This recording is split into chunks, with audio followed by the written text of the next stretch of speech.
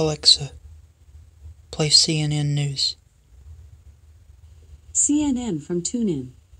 America. Republican voters are unified in their support and their desire to work with President Trump, and we are unified as Republicans. Uh, as you, as I said, this is the slimmest majority that Nancy Pelosi has in a generation. We picked up a number of seats, defied.